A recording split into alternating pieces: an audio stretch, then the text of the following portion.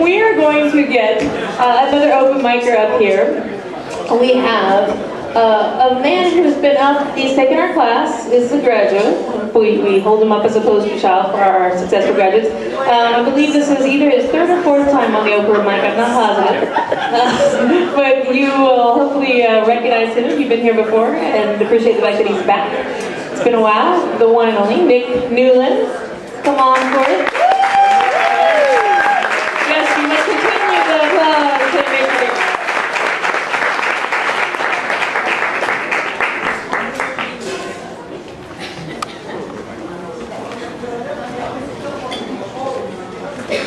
My 23rd birthday, my girlfriend Linda gave me an incredible gift. She told me to sit down on the edge of the bed and close my eyes. Then she asked me to put my arms out in front of me.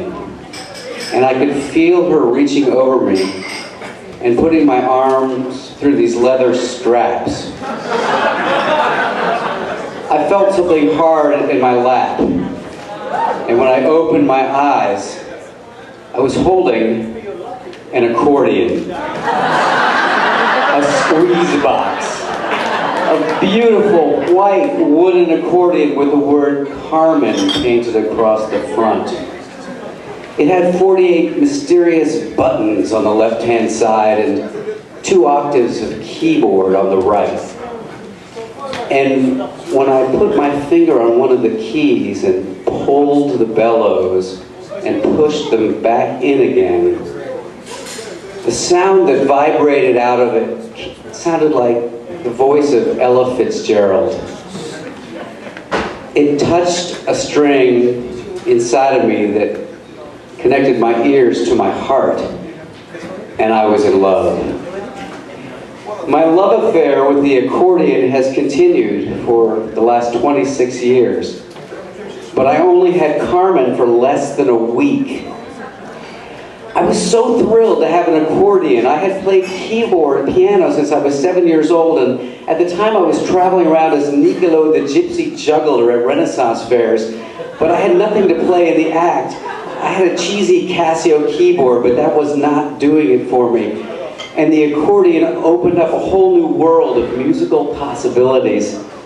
Thrilled, I called my musician friend Paul and told him I was going to bring him over something that would blow his mind. And I hastily packed the car and drove my, from my DC apartment to his house in the suburbs. When I got there and I opened the trunk of my station wagon, Carmen was gone. Somehow, in my haste to pack the car, I had left her on the sidewalk. I didn't even have a case for her. I left Carmen naked on the streets of Washington, D.C. I said goodbye to Paul and I hurried back to my apartment, but she was nowhere to be found. I plastered the neighborhood with signs, lost accordion, reward, great sentimental value. But she was gone forever. I cried bitter tears, the first time I'd ever cried over an accordion. but not the last. I bravely soldiered on.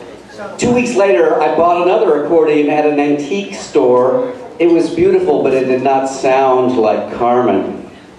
I took accordion lessons from an old vaudevillian named Merv Khan.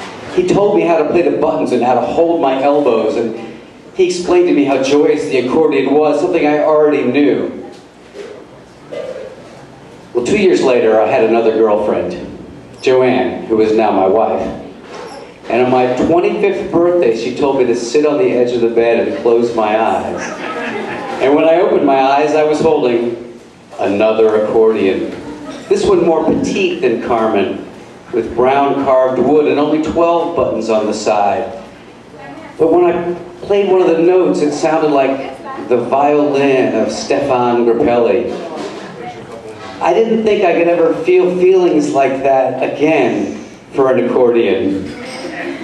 But I did. And I played that accordion everywhere. I traveled to Europe with it. Joanne and I played it in our show together. I even sat in and played in blues bands and rock bands. Who knew that the much maligned accordion, but with almost as many jokes as the bagpipes, could rock so hard? But four years later, fate intervened. And on the way to the Pennsylvania Renaissance Festival, coming out of a rest stop, once again I packed my car in haste and somehow left Venezia on the top of the car. And driving down I-81, I saw it fly off the roof of my rearview mirror and bounce horribly on the highway, smashing to bits. I pulled the car over and ran out on the highway oblivious to the traffic and scooped Venezia up like a grieving mother.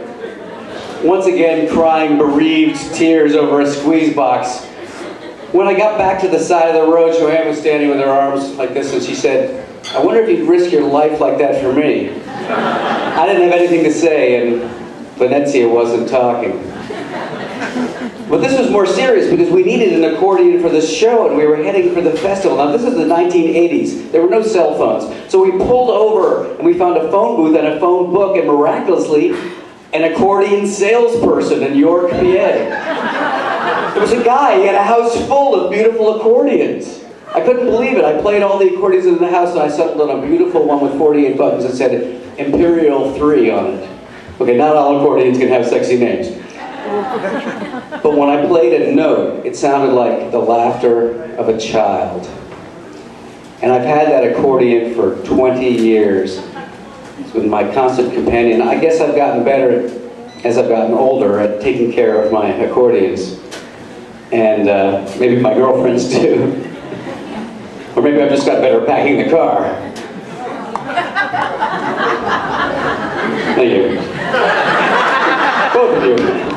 So, what do I take out of all this accordion love and loss?